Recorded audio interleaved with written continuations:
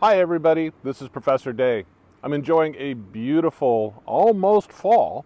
Uh, we're, we're almost to the equinox, uh, just before that. Uh, late summer 2023. Uh, sunset.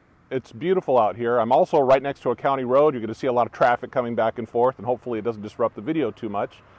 But what I'm doing out here is taking an opportunity to explore what causes these soil cracks that form all throughout the Midwest of the United States.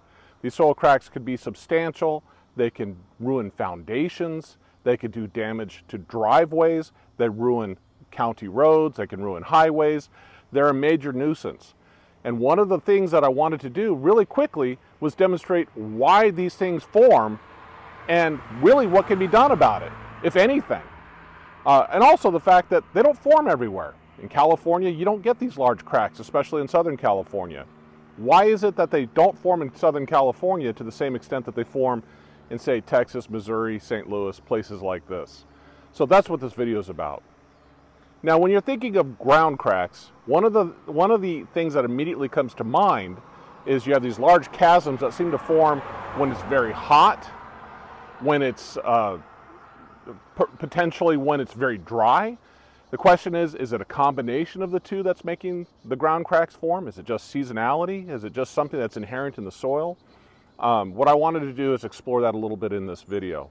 Uh, what I want to do first is I want to follow a ground crack. I want to show you how big these things can get out here where I'm at. So I thought I'd go ahead and walk along a path of a major crack just to kind of show you how, how big of a deal these things are. You can even see the, the crack I have an interest in is right here, but you can see that this has been repaired over here. The road has been repaired, and these two cracks parallel each other. You can barely see it because there's a little bit of grass growing in here, but uh, we're going to follow it over here. The crack is starting to show itself a little bit better right in this zone. Uh, it's got a nice little furrow that runs along here. It's running along this section here. And again, this has been corrected over here. So this is an ongoing problem that happens every year on this on this county road. The crack is obscured in the grass right here, but then look at this. It then runs over where that weed is. In fact, that weed is probably taking advantage of the fact that water is being collected and, and drawn into that crack. And so that weed's able to grow especially large there.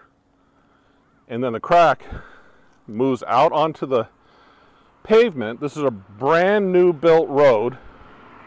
I'm gonna let this car go by here. But this is a brand new built uh, road, and we can see that it's ripping quite a ways down there and it's offsetting things. In fact, we can, if we look carefully, see if we can get down here, we can see that this part of the road here is actually moved down about a half an inch relative to the other side.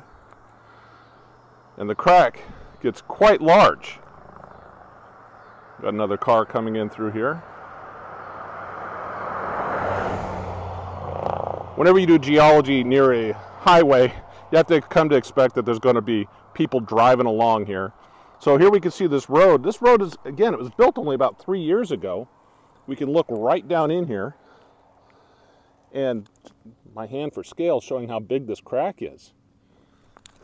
The crack then continues this way, and at this point, I can look down. You won't be able to see it here, but I can look down into this crack, oh, about two feet, and in some places over here, it gets to about four feet.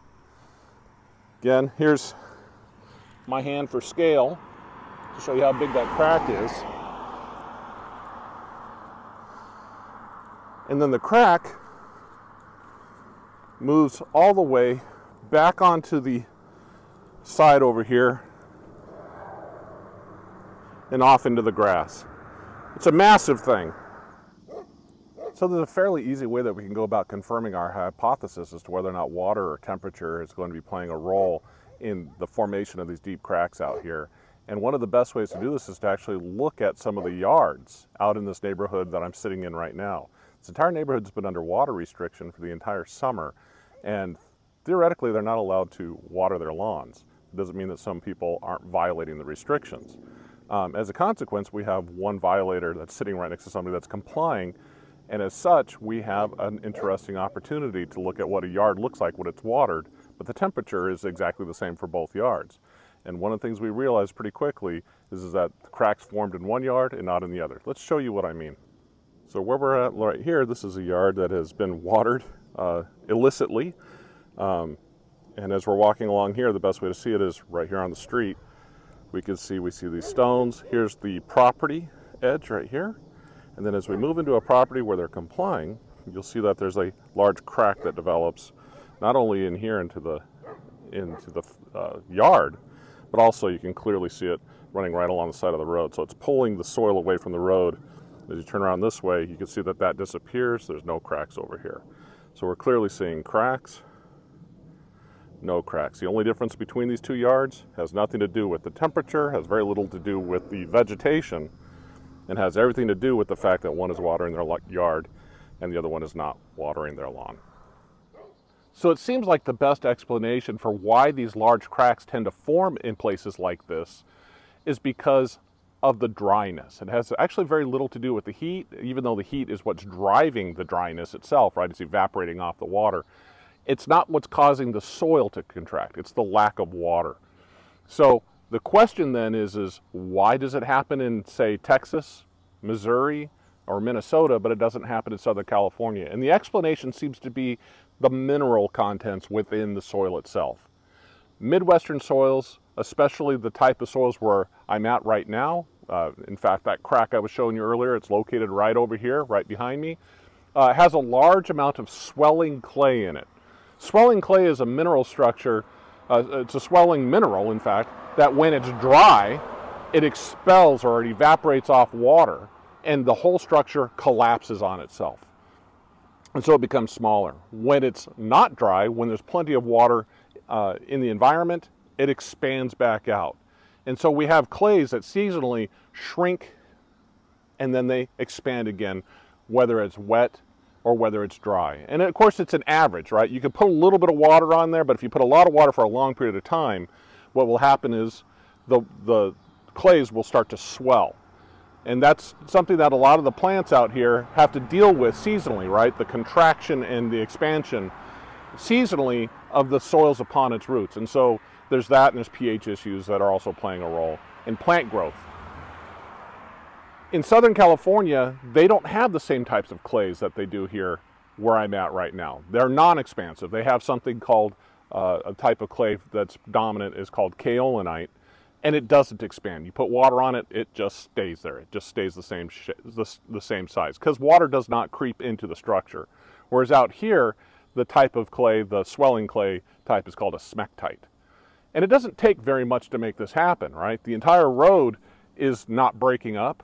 Only the small edges, the fringes of it are breaking up and it's moving a few inches. Well, it's moving more than a few inches, probably about five to six inches in some places. But it's a substantial amount of surface area and those areas, those fringes are what's moving back and forth and causing those cracks along the sides of the road. So the process of crack formation out here is actually quite interesting. What'll happen is you start off in late spring or early summer with a nice flat surface that is completely consistent. And then what will happen is, is you will get a period of time where you have less rainfall, elevated temperatures come up and that promotes evaporation. And then what will happen is the clays will begin to expel the water uh, fractions that they possess out to the atmosphere. It'll evaporate them off. What will happen is, is those clays will start to contract. The surface will start to develop very small cracks. Those cracks won't be noticeable at first. But once a crack is started, it starts to open up another avenue for that evaporation to happen, right? This way you have one surface where the evaporation could happen. But if you go this way as well, you have suddenly another avenue. So imagine a crack forming and as it's ripping down through the soil, it's opening up another avenue. And so suddenly you can get very rapid uh, drying out of the soil, something called desiccation. Okay, That desiccation starts to set in and it starts to speed up the drying process. So the ground will start to form cracks and those cracks will open up very rapidly and they'll stay open throughout most of the summer and they can get quite deep as they propagate down into the upper parts of the soil horizon in the area where I'm at right now, four feet is not unusual. It's actually pretty common, and where you got gaps in the soil down as far as four to six inches. Um, in fact, you worry about things like kids playing outside because they could trip and fall or, or something like this. It's already pretty hot out in this area. It can hit temperatures of about 110 degrees Fahrenheit in some summer, sometimes higher. 112 is not, uh, does happen from time to time.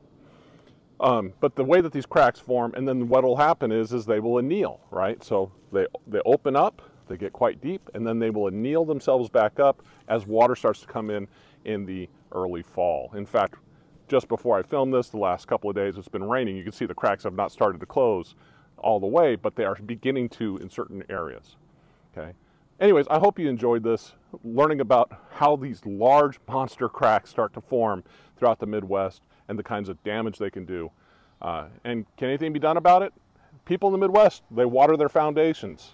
Uh, if you can't water your foundation, you're going to get cracks in your foundation and your house isn't going to last very long. Anyways, thanks for uh, joining me here next to this county road in the middle of the Midwest. I hope that you enjoyed learning about ground cracks. Take care.